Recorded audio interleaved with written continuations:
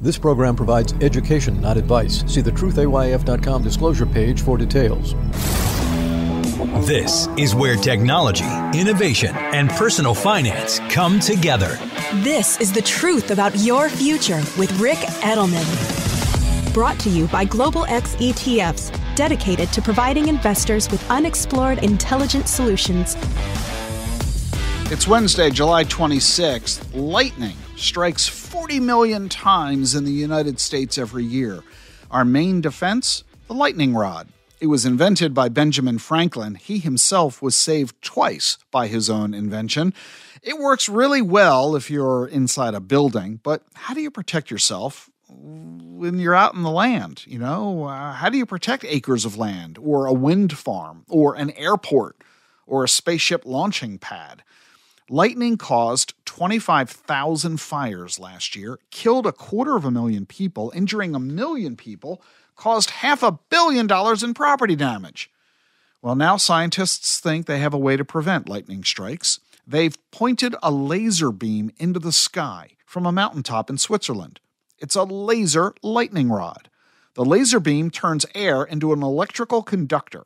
When the laser fires, it creates charged particles, and that attracts lightning. The lightning hits the beam and follows it to the ground, just like Ben Franklin's lightning rod. This is a very high powered laser. It fires a thousand times a second. Each pulse lasts one trillionth of a second. It doesn't consume much power, only about 10 kilowatts, the same as a commercial oven, but you can burn stone with it. Yeah, that's a pretty powerful laser. The biggest problem with the technology? Well, if you aim the laser into the sky, you could harm pilots. So they're working on it to try to figure it out. But if they do figure it out, we might be able to prevent wildfires.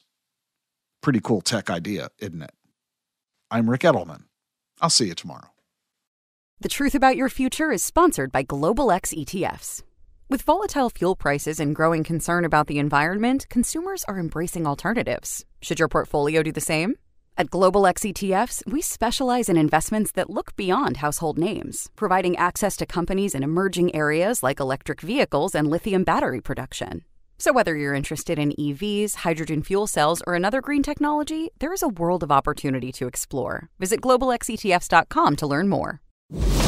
How do advances in science, technology, and medicine translate into investment opportunity? Listen and learn. This is the truth about your future with Ric Edelman.